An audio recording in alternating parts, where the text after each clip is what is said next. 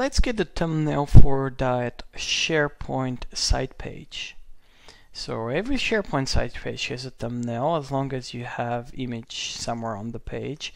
A specific case is when I select uh, my page in the site pages library, we will see that there is a nice little thumbnail here and, and that's my top banner. So we'll be using the Microsoft Graph APIs to get that. And I already, uh, I already did that here. I'll just reload to show that it's still working. So I'm calling the Graph APIs from the SharePoint itself. If so, this is my SharePoint site, and this is API v2, which is where um, a Graph APIs are. Those are the Graph APIs specific to SharePoint, so you can call them directly from here. And we have SharePoint here and then here we have the server relative URL to the page. So sites CFO is my site, then we have site pages and about us. Then this is continued by drive item thumbnails, which is the Graph API for that. Then it's zero. The zero part is my first thumbnail.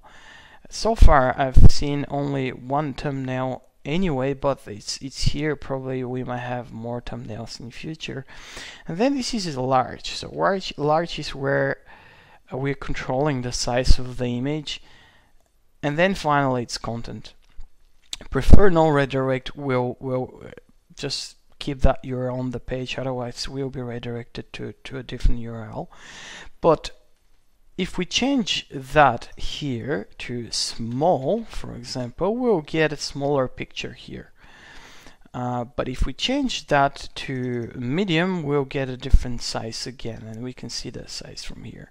Now, there is another way to control that, and it's when we type C 960, then X 999999, we'll get a different size again and it's 960 per by by uh, 640 here as you can see.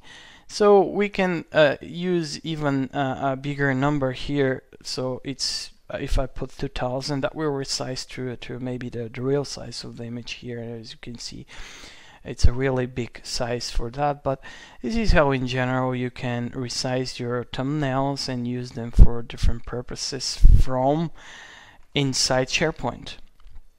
There is a way also to call that from the graph.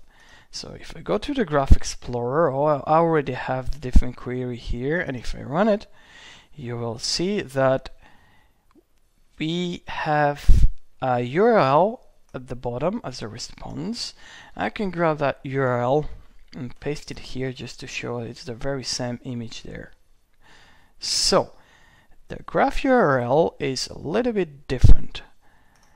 Um, what we have here is I'll just copy I already copy pasted that into into a screen where I can show it on a, on a bigger size but here we are accessing the graph v1 then we have the sites and this is at the domain of our tenant here then we have the site which is at sites CFO then we go into the lists and we need to know the list ID. A bit tricky to get, but we need the list ID. Then we go into items and then we need to know uh, our about us page ID. Again, a bit tricky, but that's the idea of the about us page.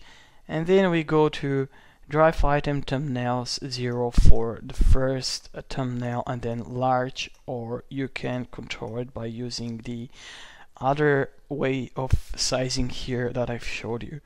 So this in general how you can get the thumbnail of a site page in SharePoint.